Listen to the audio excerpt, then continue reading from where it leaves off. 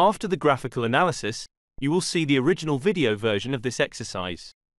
Two interesting trainings appear on my channel every day. Subscribe to the channel and turn on notifications then you won't miss any new exercise. Use the playlist, where all trainings are arranged thematically and you have easy access to them. Thank you.